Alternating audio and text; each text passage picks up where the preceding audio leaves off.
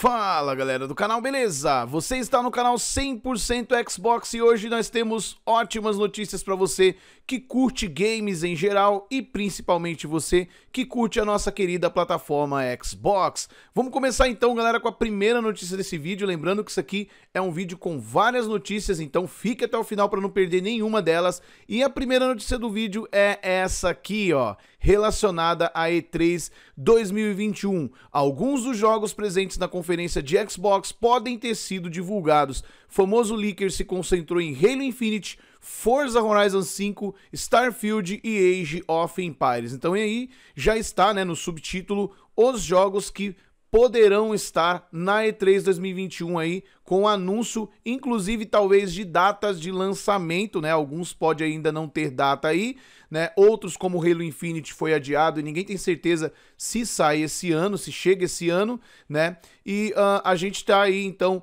aguardando mais notícias, mais informações sobre a E3 2021. Lembrando que quem falou sobre esses nomes aqui foi o insider Crobrile, né? Ou Clobrile, eu não sei exatamente como pronunciar, mas uh, ele é aí um insider ligado à Microsoft, né? E ele tá sempre com alguns rumores que sempre acaba se confirmando também. Além de rumores, ele tem também alguns vazamentos interessantes relacionados ao Xbox, então a gente pode sim começar a acreditar que alguma coisa daqui do que ele está falando pode sim acontecer.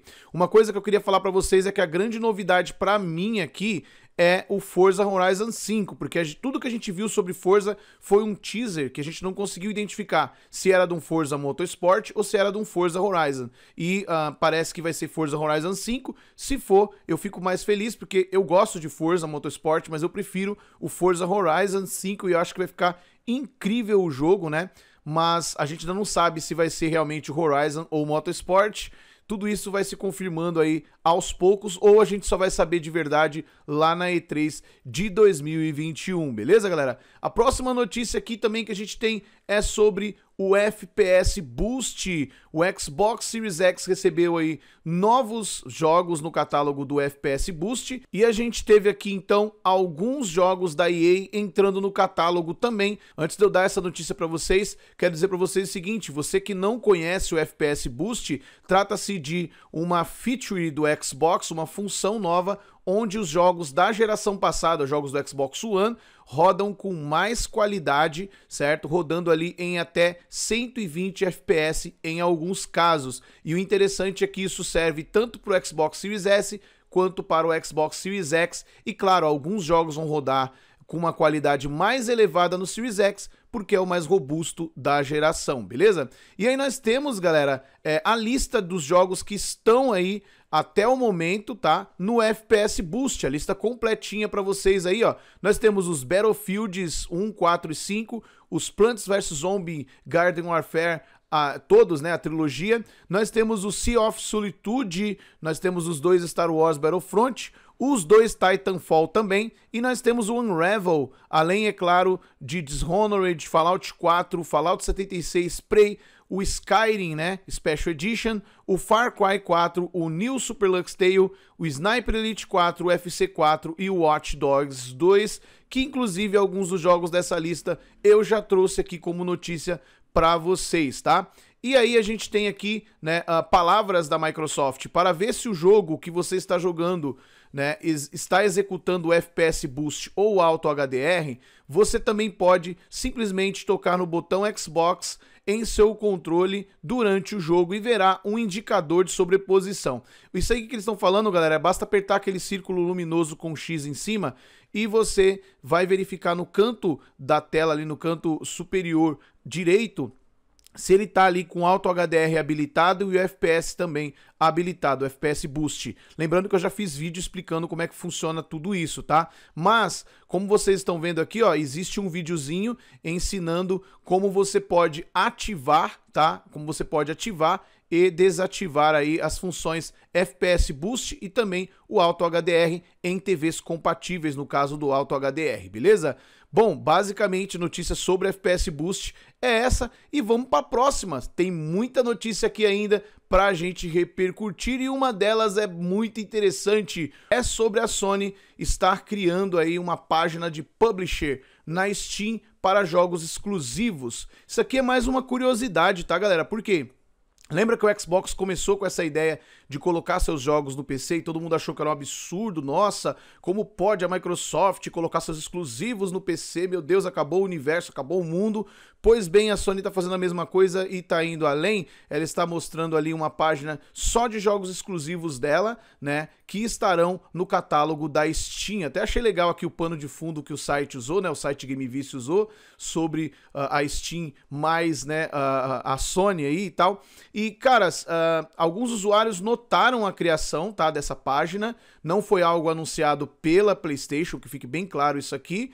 É, mas algumas pessoas navegando ali na Steam para comprar jogos observaram, né, que uh, estava ali franquias, franquias PlayStation Studios no aplicativo da Steam, né? Então já vai ter até uma página dedicada a jogos exclusivos. Isso quer dizer que não vai ser apenas dois ou três jogos que estarão ali. Muito provavelmente teremos muito mais jogos da Sony no catálogo do PC na Steam. Eu, a minha opinião pessoal sobre isso é que eu acho bacana, eu acho legal que a Sony esteja mudando e esteja aderindo à filosofia do Xbox de ganhar dinheiro, meu amigo. Você tem que ganhar dinheiro para produzir mais jogos. Ela mesmo disse que se não vender bem uma franquia, ela não faz a sequência, né? Isso aí vazou aí, deu um escândalo sobre o Days Gone 2.